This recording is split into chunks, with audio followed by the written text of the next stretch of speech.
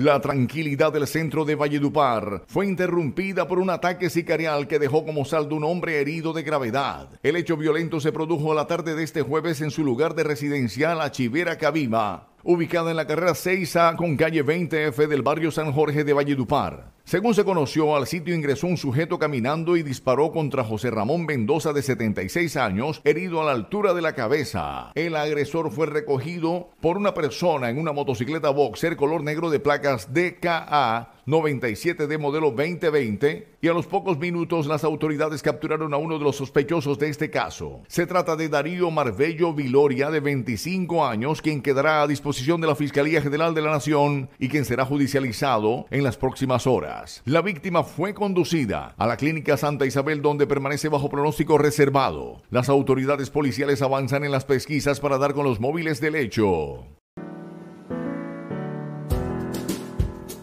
Nueva Clínica de Santo Tomás. Brindamos la prestación de servicios de salud con los estándares más altos en calidad y eficiencia. Aquí nos dedicamos a cuidar cada detalle por el bienestar y tranquilidad de nuestros pacientes y sus familias.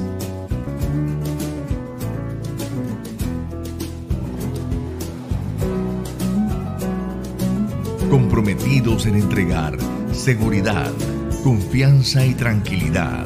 Urgencias 24 horas. Contamos con unidades de cuidados intensivos, salas de cirugía, salas de parto, hospitalización, consulta externa. Carrera 10, número 13C109, Valledupar Cesar.